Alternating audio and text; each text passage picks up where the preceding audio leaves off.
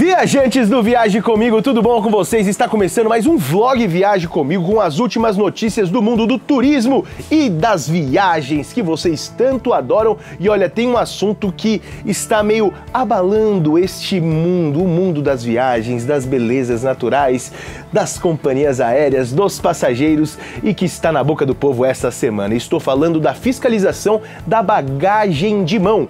Sim, começou uma fiscalização mais rígida para a bagagem que você vai levar com você dentro da aeronave. Sempre existiu um padrão, mas as companhias aéreas, quem deveria fiscalizar, fazia uma vista grossa e acabou virando bagunça. Se você é um viajante frequente, assim como eu, você sabe como tem sido difícil encontrar um espaço para colocar uma mochila ou a sua bagagem nos compartimentos dentro da aeronave, tá certo? Você sabe disso. Você provavelmente, se viaja muito, já deve ter sido abordado por um dos atendentes falando assim, ó, o senhor não gostaria de despachar a sua bagagem gratuitamente? É que não tem mais espaço dentro do avião. Para resolver esse problema, a galera resolveu começar a fiscalizar as bagagens de mão. Agora elas têm um padrão que devem ser seguidos. Elas devem ter 55 centímetros de altura. Estou falando valores máximos, tá, pessoal? No máximo 55 centímetros de altura, 35 centímetros de largura e 25 centímetros de profundidade. Todos esses detalhes estão escritos, olha, no link aqui embaixo na nossa descrição. Você pode ir lá no nosso blog, no viagemcomigo.tour.br, que todas as informações estão lá, tá certo? Se você tiver alguma dúvida depois desse vídeo, corre lá, dá um clique que você vai saber de tudo mais ou menos. Vamos lá, pela ordem cronológica, como nós chegamos neste ponto, onde as companhias aéreas têm que verificar o tamanho da bagagem de mão de cada passageiro. Olha só que coisa, né? Bom, vamos começar lá nos primórdios, aonde você, eu, nós tínhamos o direito de carregar uma bagagem de 23 quilos gratuitamente, tá certo? Não interessava se você viajava de São Paulo para Natal ou de São Paulo para Ribeirão Preto, era um direito que você você tinha.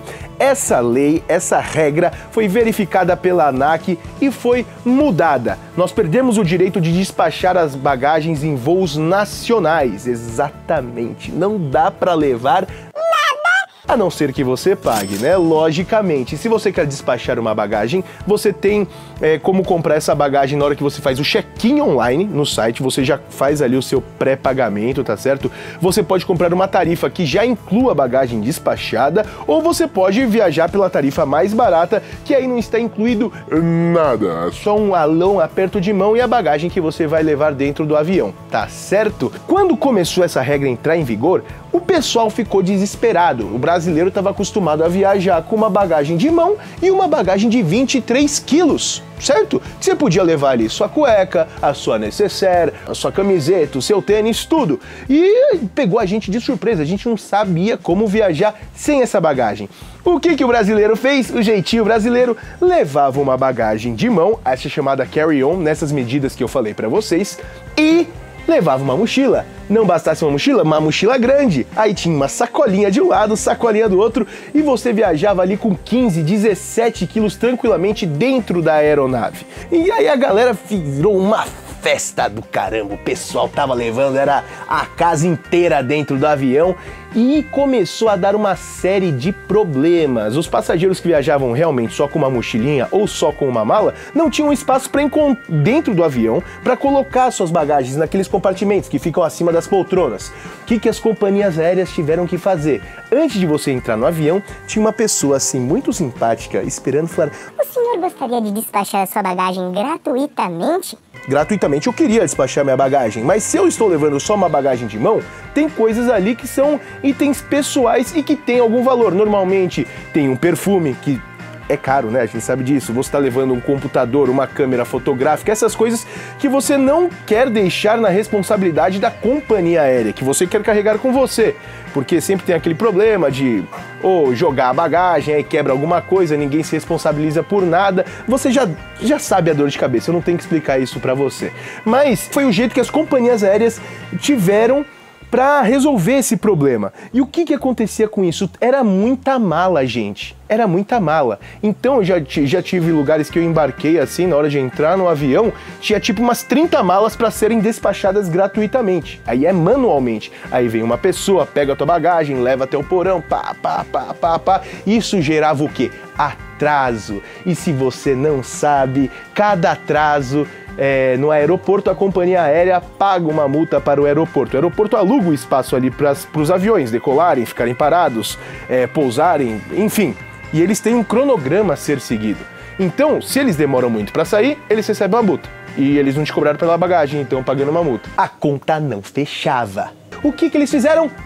Vamos colocar um padrão aí na bagagem de mão e vamos fiscalizar esse negócio para ninguém viajar mais com uma bagagem? Foi isso, é isso que está acontecendo. Então, se você está assistindo esse vídeo agora, prepare-se, que você pode ser abordado por alguma pessoa e falar assim, ó, Vamos ver se sua bagagem está dentro dos padrões. Ele vai vir com uma caixa de papelão com o padrão permitido, que eu já falei para vocês, e vai colocar em cima da tua bagagem. Entrou!